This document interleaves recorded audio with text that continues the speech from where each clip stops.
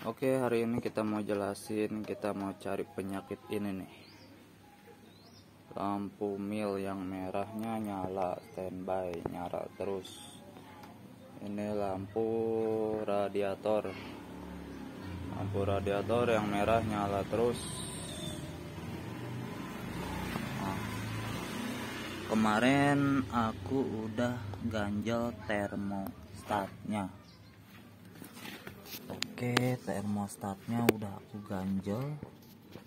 Pakai baut yang ini. Nah yang ini.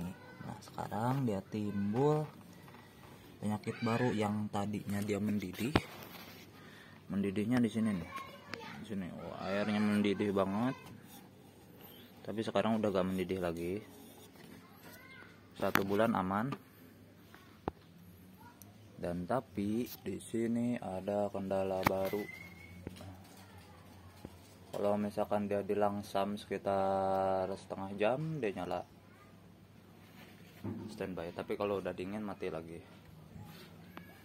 Terus pas saya pegang selang ini nah selang yang ini dia gak, se gak panasnya gak, gak sesuai sama panas mesin ya ini mesin panasnya kita sekitar 1000 celciusan nah yang ini juga selang yang ini juga gak panasnya gak sesuai lah ya.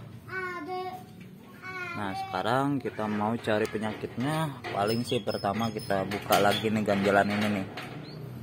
Buka lagi ganjalan ini. Dia masih berfungsi apa enggak?